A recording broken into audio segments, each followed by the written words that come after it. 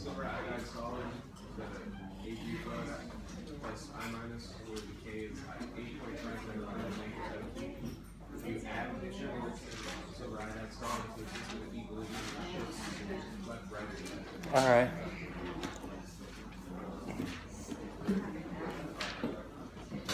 And then I guess the other one was the activity of the solution, is the electrical chemistry. Uh, well, let's do the first one, the number nine.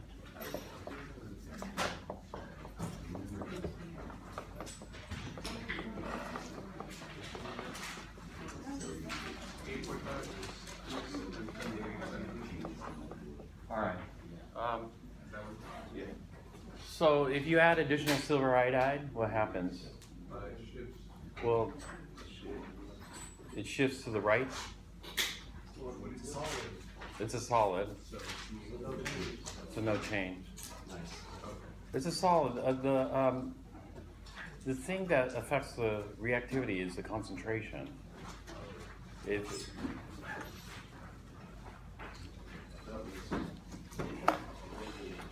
and so the, the concentration of the solid doesn't change. It's the same. It's still pure. You know it because pure solids and pure liquids have an activity of one. It's fixed. And um, if it were liquid, it's the same thing. You know, you add more liquid, it doesn't change the concentration, and so it's not going to shift. So pure solids and pure liquids have no impact. You need it. If you don't have enough silver iodide to reach equilibrium, then that's a a problem. But you, once you have enough, then adding more doesn't make any difference. It's like, okay, I, you know, you saturated your coffee with sugar, right? Is adding five more sugar cubes going to make it sweeter uh, once it's saturated? No. I mean, you could add more and more. You, know, you could add a ton of sugar. It's still not going to get any sweeter because no more sugar is going to dissolve. Now, you can change the temperature. You know, one way we could do things is the Ks. You know, the Ks depend on temperature. For example, we saw that for water. Remember when we were looking at water, when we're looking at water, KW,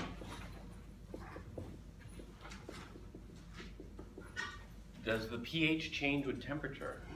Yes, the pH changes with temperature for pure water. But, you know, that's a hassle because every day in our lab, the temperature changes depending on the AC kicks off or doesn't kick off. And so do you want to follow the fluctuations and pH changes? No. And so what people do is they just say, well, pure water is always going to have pH 7 no matter what the temperature is, even though that's not correct. And so they build pH meters to, to compensate for temperature. So we don't have to follow the fluctuations and compensate each time we do it otherwise. But for everything else, we do. I mean, if the temperature changed here, this is for room temperature, if the temperature changed here, it's totally different. So if that value was like really low, or I mean, just like eight point five, and then the increase in temperature you expected to make the product. Uh, yeah. yeah. I'd expect this one to favor products, but not all of them, be- you know, it depends. Um, on some, some of them, um, some dissolution processes are actually endothermic. And so when you dissolve it, it actually gets cold. And so there you would favor reactants. But most, most uh, dissolution processes are exothermic. Or, uh, no, most are endothermic. Well, whatever, you get the point, yeah, just depends. All right, other, other questions? Uh, What was the other one after this, activity? Yeah, it's just, is it the effective concentration? The activities are, did you, did you read that section I asked you guys to read in chapter thirteen? No, right, it's only two pages long.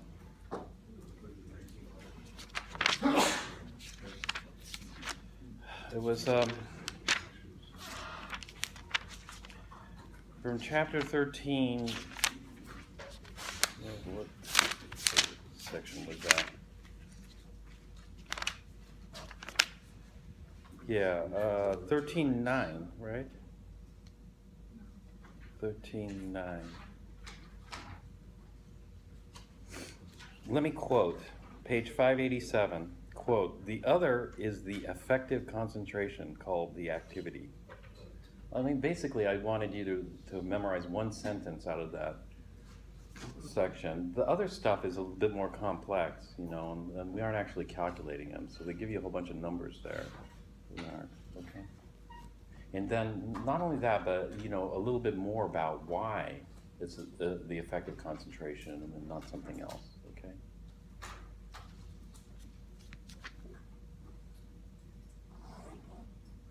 Okay, what else? Um, it was on the exam, it's the last one. It's basically you have to find the equilibrium concentration for everything. Yes. And it was a iron two plus, um, basically, I don't really know how to get the X. Because Uh, what did you do? at first I tried it the original way, but it gets, you introduce like binomials, and to get rid of that, I reset the whole thing, Okay. but it still didn't work. Well, it doesn't look like it worked, cause it just kept. Did you try it or you didn't really try it? I- Well, I don't know if it's correct though, that's why. You can always tell if it's correct by double checking it. You, do you guys know how to double check your answer? Oh, that's right, I did right here, and it, did- it wasn't the same, so then that's why I tried, um.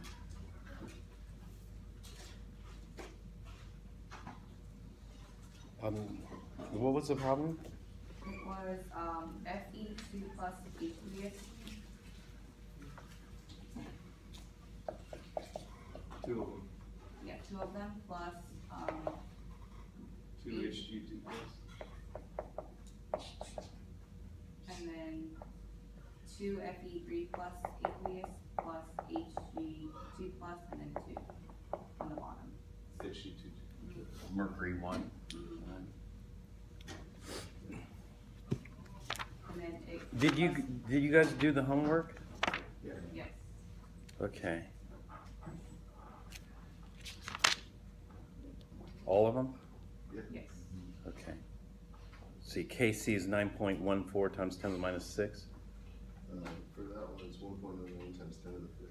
one point oh nine times ten to the fifth, Yes, sir. okay. One point oh nine times ten to the fifth. All right, I had this question yesterday too. Um, You guys figured it out? I did successive Yeah. approximation. Tried it.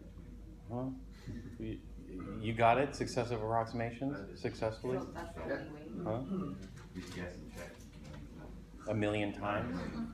I got one, two, three, four, five, six, seven, eight, nine, nine times. And, and then you got it with nine guesses? Wow, good, good. Yeah, it depends, you know, sometimes you get lucky, sometimes you don't, but, you know, a problem like this is not so easy. Uh, did you do a double check? I, I did, but the, because it's, it comes up to be like one over one. Wait, uh, but You'll see. Did you, Just a double check. Solve for what you think X will be. uh-huh, Isn't that already plugging it in? Like, Oh, yeah. by trying to find what it's equal to, like how you check it? well. Plug it back in the original formula. The- You're right. You're right. What I mean by double check is how close did you get? Did you get it to where it rounds off to 1.09 times 10 to the fifth? Yeah. Yeah? One point oh eight. 1.08? One point oh And then you, get- you, you got 1.094 times 10 to the 8? Uh, And what was your, um, what was your value? Point zero four six one three. 0.04613 for your x? All right, all right. But do you do the successive approximation, um, after, Is it- Successive approximations should work for most problems. What, what, what problem was this? Was this like the, Sixteen on the. was this on the practice test? Was this the last problem? Yeah. Oh, okay. Was this the problem you were asking me about yesterday? No. No, different one, yeah. You asked me about this, okay. Um, yeah, the- okay, successive, well, one point oh nine, what did you get, one point oh eight, Scott, something, one point oh eight? Yeah. Yeah, those, those are close. The one point oh nine four is fine, you can do that, you know. do that. Hmm? You can do reset and then the that's What, what were the, um, what were the initial conditions here? point one hundred on the two left. Point one hundred Yeah. and point one hundred and zero? Zero, zero.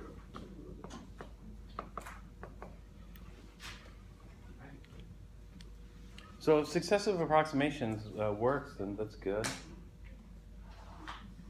Successive approximations you would expect to work on every problem, but it doesn't. It doesn't because it's hard to get it to converge on some kind of answer.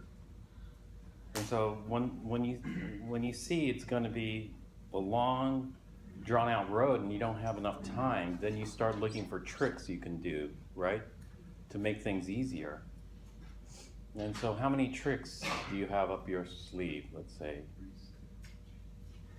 You know, how many how many um, tricks can you can you come up with? You know, a lot of people have zero. You know, but uh huh. Can you change HG, the mercury one, to atoms, mercury one plus, or No, no, you can't because the, the it's covalently bonded together, so it's not split. If it were split, then it would be like, like twice the concentration. Um, so it can be half the concentration when it's bounded like that. Yeah, so that's impossible to split a diatomic ion. So, um, uh, so a problem like this, though, you know, um, after you start getting comfortable, like uh, David, let's say, what would you do in, in solving this problem? Would you solve it as is, or what would you do? As is, um, Or would you change it right, right away? Uh, did everybody solve it as is? Yeah.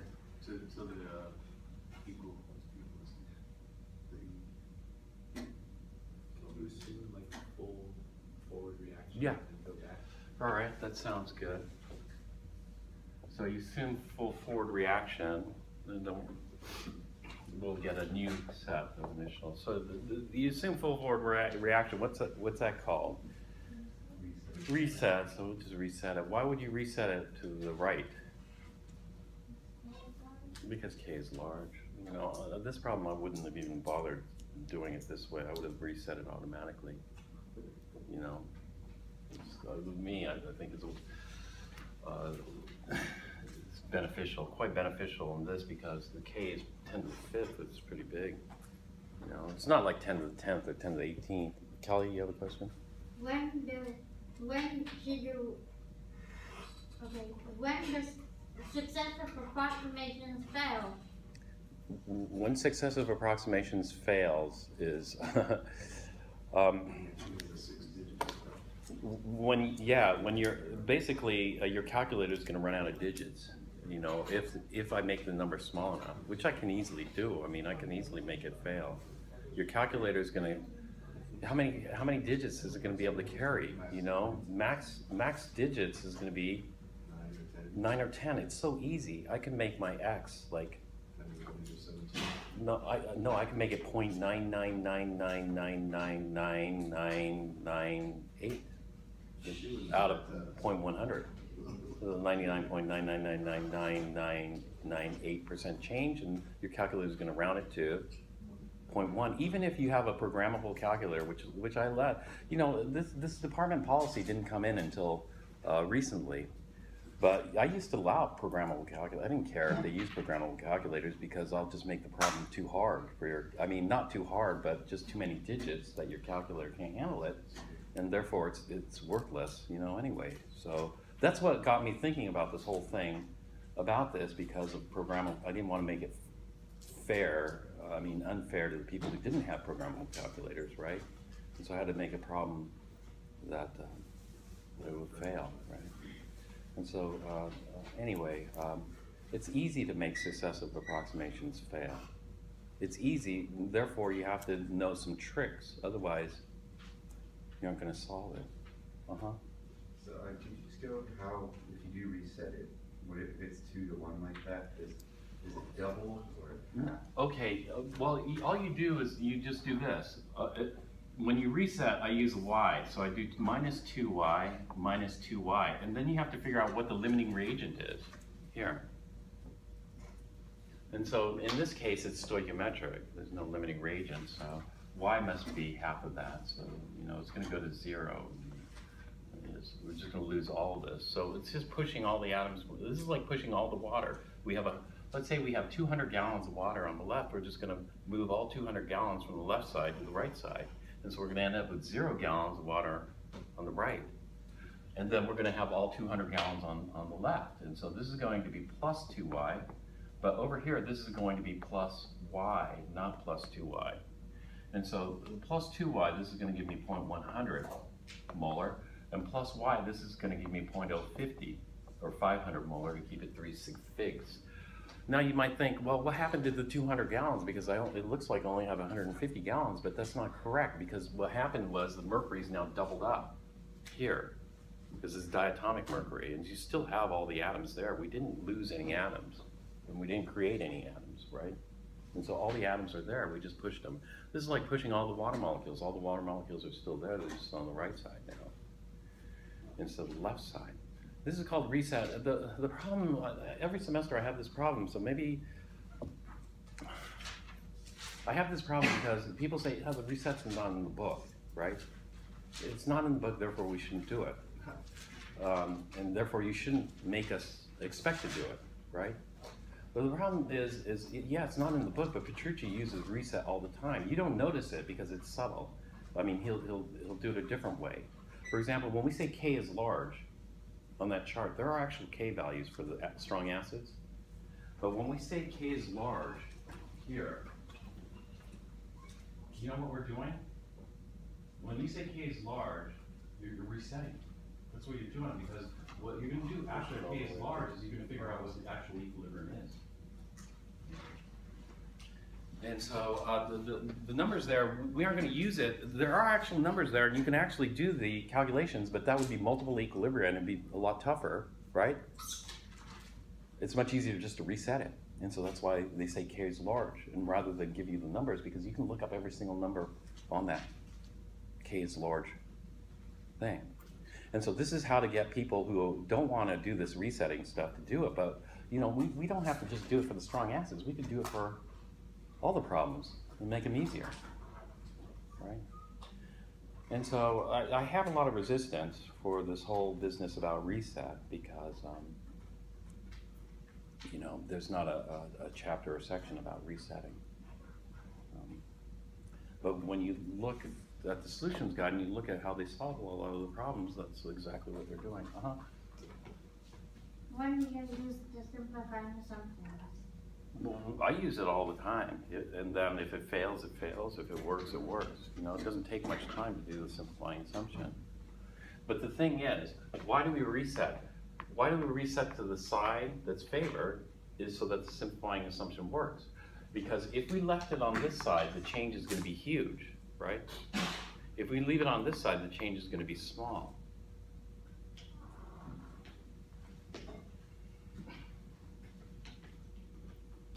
And so um, now you just do this change in the equilibrium. So I, I, don't understand why this didn't work on the reset. This should work easily on the reset. It, it shouldn't be that hard of a problem because now it's just going to be plus 2x plus 2x minus 2x minus x. And so at equilibrium, we've got 2x molar, 2x molar, 0.100 minus 2x molar, 0.0500 minus x, and. And so Kc is going to be um, 0.100 minus 2x times 0.0500 minus x over 2x squared squared, which would be 2x to the fourth. Oh yeah, this one should be squared too. So when do you use the simplifying? All the time. I use it all the time. I, you know, I don't even check. In chapter sixteen, they say check the ratio. I don't even bother checking the ratio. Just try it. See if it works, it works. If it fails, it fails. I don't want to calculate any ratio. The ratio is between k and the initial. That added a couple of minutes to the. So I just do the simplifying assumption to saying two x is gonna be smaller than point one hundred, x is gonna be smaller than 0.05, which means this is gonna be 0.100 squared, point oh five hundred over, you know, two to the fourth is what, two times two is four, times two is eight, times two is sixteen, sixteen x to the fourth, is that right? And then just solve for x. It doesn't take that much time, and so it's easier than solving the ratio. I don't wanna think, is it gonna fail or is it not gonna fail, because it's uncertain. Just try to see. Then. Just calculate x. What's that? Yeah, yeah, no, we don't plug the X back in. We do plug it in back here in the original, but we'll check the concentrations. Better because we can see we did some kind of subtraction error or addition error. And so just solve for X, um, it's point one squared times 0.05 divided by sixteen divided by one point oh nine times ten to the fifth. And what do you get?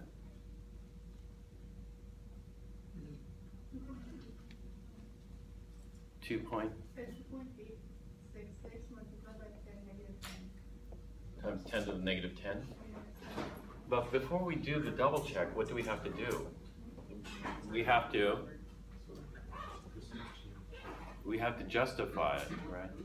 Check it versus it's- Yeah, we need to calculate the percent change. And so the percent change is gonna be the same in both, but two x relative to point one is the same as an x relative to half of that, and so, uh-huh, Yeah, uh, it's actually point zero zero four eleven. okay, what did you get? Point Zero zero four one one. All right, um, when we do this, the, the change, we'll just double this. So this is gonna be point double oh eight. This will be point double oh eight over point one hundred times hundred percent. So this is gonna be eight two two. Excuse me, how can I get sixteen times four? It's X, X to the fourth. Two x to the fourth, so that means It'd be, sixteen times. yeah, two to the fourth, x to the fourth, and so two to the fourth is sixteen. This is two times two. But you assume x is, but you assume x is what? Is, is much less than what? Um, oh, for the simplifying assumption, Mm-hmm. uh, Uh, x is much less than 0.05. That's what we're assuming. Let's hope it's okay. It's eight percent. It's eight percent, unfortunately. So this is eight point two percent. Eight point two percent is fail.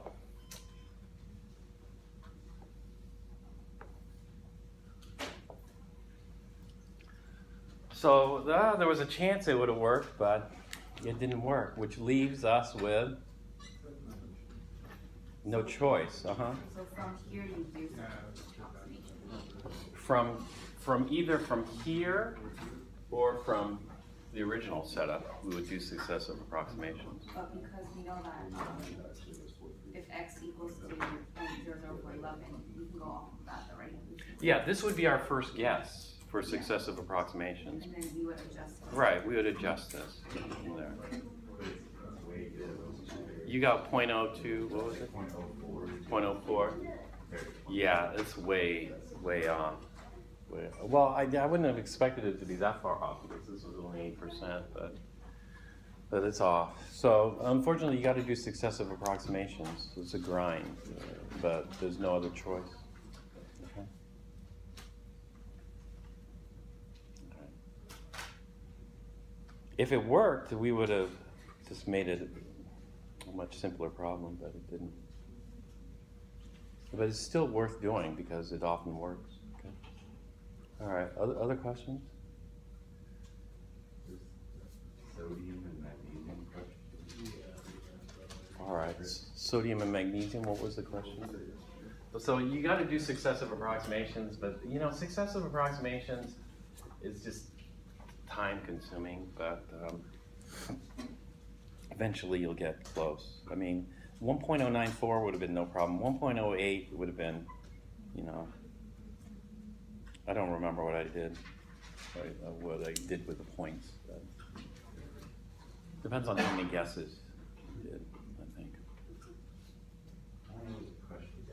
All right, what was the magnesium or whatever, zinc, or, what was the question? Oh, it's, Well, uh, double the amount to point zero zero eight two two? Oh, it's the change. I, I, well, the reason I did it is so I could do it in my head. You know, eight out of hundred versus four out of fifty, you know? Four out of fifty is still eight percent. I just did it. You could do it with either one because both of these are the same relative change.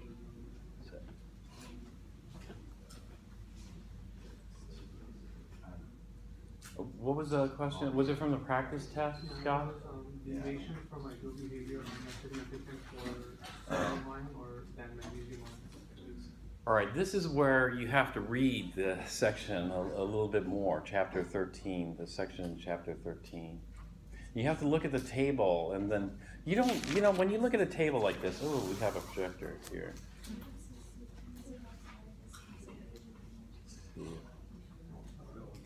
Turn it on. Forget it. Um,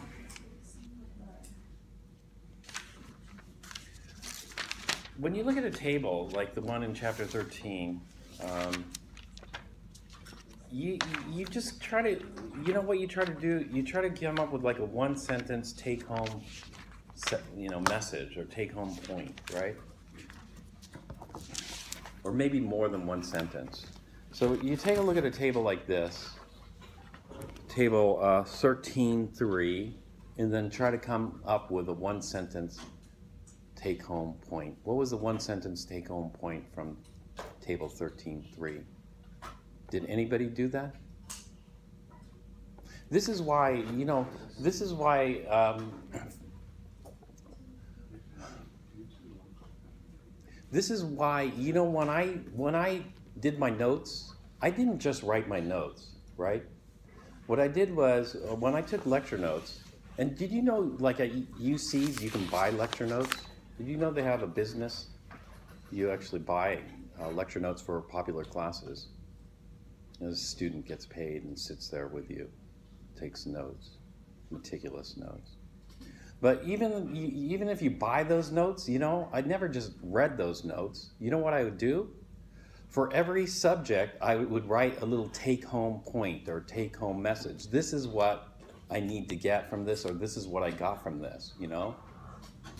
And so a, a table like this, you know, tables, I'd, I'd say, okay, th- this is what I, I, what I see, the pattern that you see.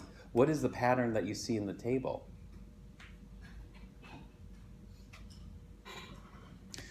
The, the pattern that I, uh-huh, Is this, uh, ion with, uh, the, low with a singular charge, it, um, it's usually the remaining reagent, it goes in. Mm, no, not, not exactly.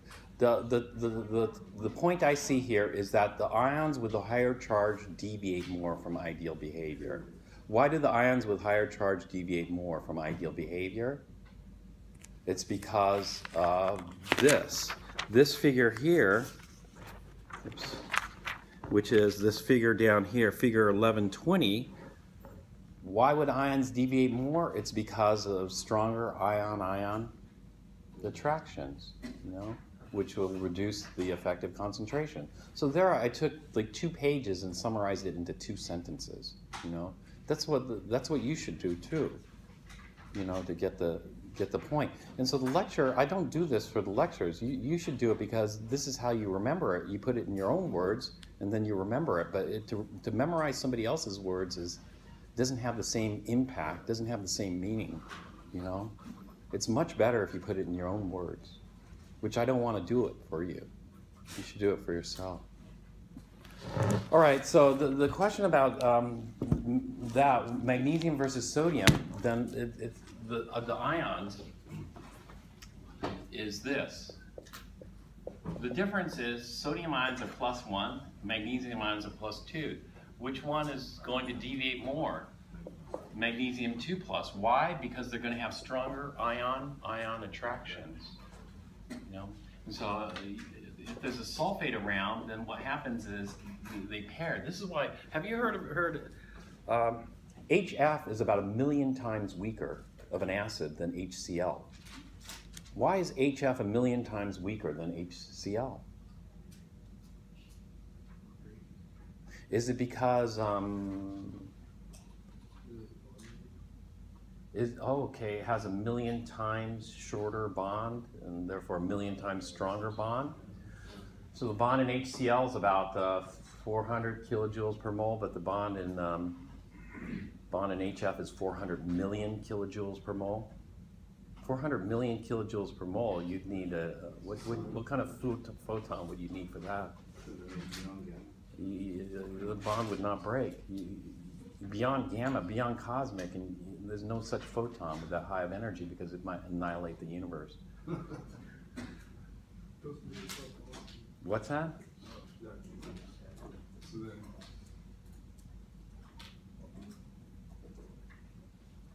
You know why HF is a million times weaker?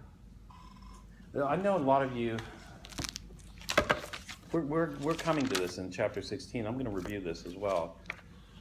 But um, at the end of chapter 16, we talk about structure and acidity. It's supposed to be, this is supposed to be a topic covered in Chem 1A, you know, structure and acidity.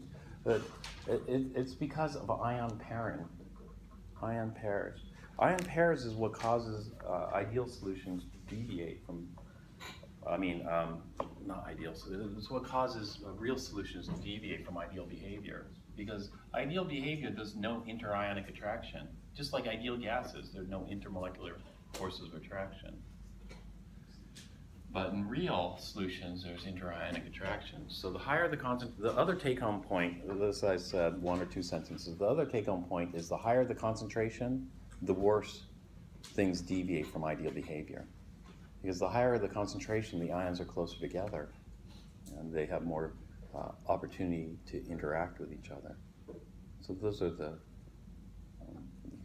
summary of that. Hmm? And so the, the question was, which one deviates more from ideal behavior or something like that? Yeah. Okay, then magnesium does. Magnesium.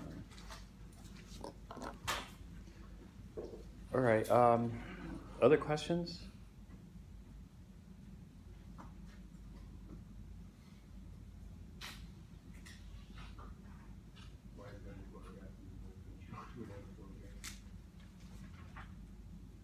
Well, no, the, it's not why wise hydrochloric. Hydrochloric follows the pattern. Hydrochloric, hydroiodic, hydrobromic follows a nice pattern. Hydrofluoric is, did you say hydrofluoric or hydrochloric? Oh, okay, you're right. Hydrofluoric is the one that deviates. No, you probably don't. The reason is is because it doesn't break apart completely. HCl 100% dissociates. HF does not 100% dissociate. It just partially dissociates. And so it partially dissociates, it forms what we call an ion pair. This paired interaction means that the H plus isn't free to react with bases. H plus is kind of stuck to the fluoride. And then there's one additional step. You got to break this attraction because this attraction is kind of strong to finally free up the, the H plus. So because of this ion pair, uh, makes HF weak acid. Even though HF is a weak acid, you know, you don't treat it like acetic acid, like any other weak acid, because HF has very nasty metathesis properties is uh, fluoride. Fluoride um, will attack your bone. And so if you, if you spill strong acid, it's going to burn, right?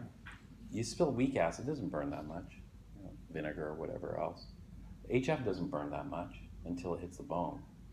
When it hits the bone, it penetrates through the flesh, then it causes excruciating pain, which can lead to death and has led to death. But you know, it's not something you can wash off because it's already penetrated through your flesh and started attacking your bone.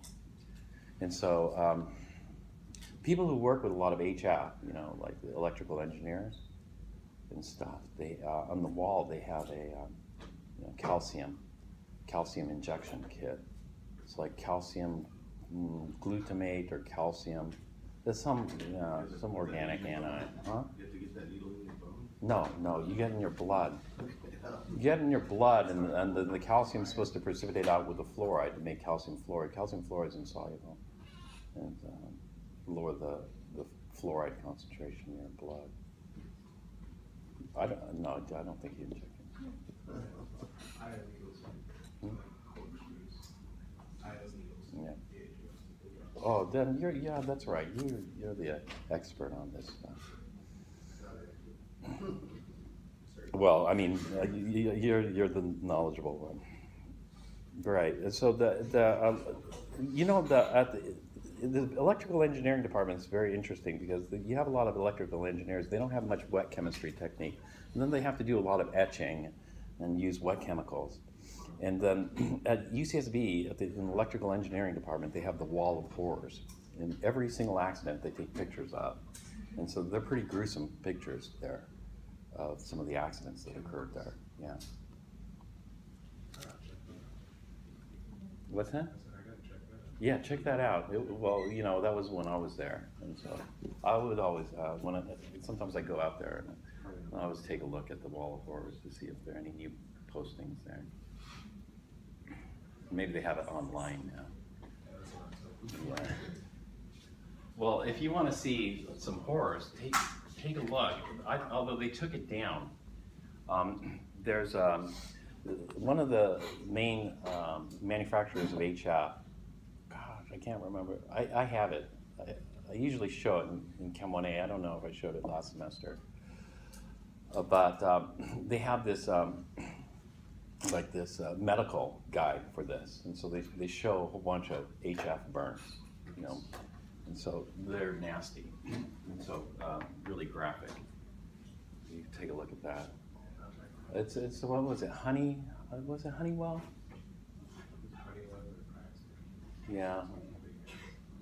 It might be Honeywell, even though they mostly make electronic stuff, but you know, I think of chemical. It, yeah, yeah. It's it's Honeywell, but they took it down for, so it was, up for a while. The most gruesome ones. Now they have some kind of, uh, you know, edited version of that. Yeah.